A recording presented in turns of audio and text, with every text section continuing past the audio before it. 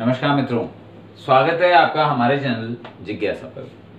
मित्रों आज मैं आपको बताने जा रहा हूँ। क्या बताने जा रहा हूँ मित्रों? क्या मैं इस मोमबत्ती के बारे में बताने जा रहा हूँ? वैसे आप लोग को ये बातें हम्म, अलग लगती होंगी ना क्यों? क्योंकि आप हमारे वीडियो का शीर्षक पढ़ के यहाँ आए हैं। लेकिन फिर भी भूमिका बांधना बनता है, दोस्तों, है ना? तो मैं आपको बताने जा रहा हूँ कि कोई भी रोशनी वगैरह आपने देखी होगी, चाहे मोमबत्ती की लाइट हो, चाहे ट्यूब लाइट हो हम्म क्या देखा होगा आपने, दोस्तों? कि इनके आसपास छोटे छोटे पतंगे, कीट पतंगे मंडराते हैं इनके आसपास, है ना? जहाँ रोशनी होती है, उसके आसपास कीड़े जिन्हें आप कहते हैं, वो उड़ने शुरू हो जाते हैं, आने शुरू हो जाते हैं। ट्यूब लाइट हो, बल्ब की लाइट हो, कोई भी लाइट हो खास तौर से बरसात के मौसम में जब कीड़े मकोड़े वातावरण में ज़्यादा होते हैं, तब ऐसा होता है कि इसके आसपास कीड़े मकोड़े मंडराने शुरू हो जाते हैं। इस पर बड़ी सारी कविताएँ भी बनी हैं और शायरों ने बहुत कुछ लिखा है। क्षमा की तरफ़ आता है, परवाना। वो परवाना क्षमा की तरफ़ क्यों चला आता है, जल्ले मरने के लिए? ये मैं आपको आज बताने वाला हूँ। हमारे चैनल को सब्सक्राइब ज़रूर करिएगा, क्योंकि ऐसी जानकारी और इस तरह की हमारे दैनिक जीवन से जुड़ी जानकारी हम देते रहेंगे। दोस्तों, दो बातें हैं। पहली बात तो ये कि ये जो आते हैं, रोशनी की तरफ़, ये केवल नर कीट पतंगे होते हैं, मादा नहीं आती, पहली बात। दूसरी बात ये कि ये बेचारे एक लालच में आते हैं। किस लालच में आते हैं? दोस्तों, जो मादा पतंगे, कीट पतंगे होते हैं, उनके शरीर से एक विशेष प्रकार का विकिरण निकलता है। मतलब तरंगे समझिए से साधारण शब्दों में विकिरण का मतलब ये होता है। तो ये विकिरण आकर्षित करता है नर पतंगों को।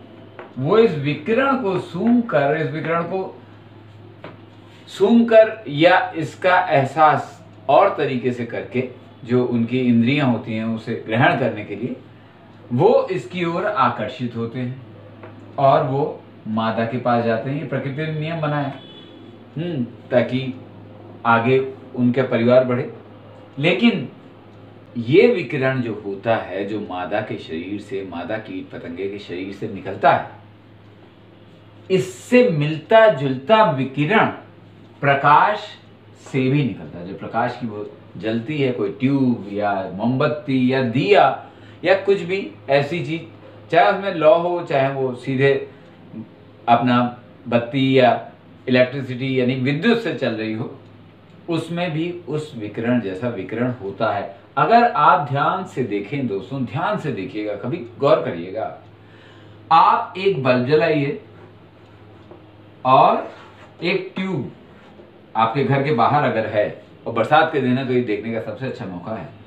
तो आप पाएँगे, इसके पास अलग तरह के कीट पतंगे आ रहे हैं, और इस ट्यूब लाइट के पास अलग तरह के, वहीं एक मोमबत्ती जला दीजिए तो अलग तरह के आएँगे।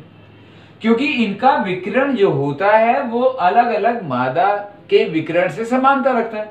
तो जिस प्रकाश स्रोत का विकिरण, जिस मादा के विकिरण से समानता रखता होगा, उसके नर, उस प्रजाति के नर पतंगे वहाँ पर इकट्ठा होंगे। तो ट्यूब के पास इकट्ठे होने वाले कीड़े वही नहीं होते जो बल्ब के पास इकट्ठे होते हैं।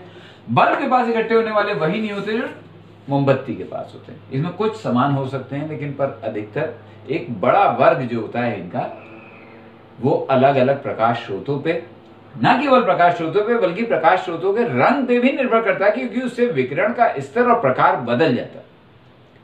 लाल ट्यूबलाइट, नीली ट्यूबलाइट, पीली ट्यूबलाइट, मोमबत्ती या किसी और तरीके की लौ तो जैसी होगी और जैसा वो विकिरण छोड़ रही होगी, और जिस प्रजाति के मादा से मिल रहा होगा कीट पतंगे की, वैसा उसको आकर्षण होगा। वो सोचता है, वहाँ मादा है, पर वहाँ तो आग लगी हुई है। ट्यूब है तो फिर भी बच जाता है पतंगे लेकिन मोमबत्ती में तो बेचारे जल जाते हैं। माता की चाहत में अपने जीवन को खो देते हैं। और इसी बात पे शायरों ने बहुत कुछ लिखा। हम भी आपको ऐसे ही बहुत कुछ बताएँगे। अपने दैनिक जीवन से जुड़ी हुई चीज़ें देखते रहिए हमारे चैनल नाम है जिज्ञासा। फिर मिलेंगे। नमस्कार।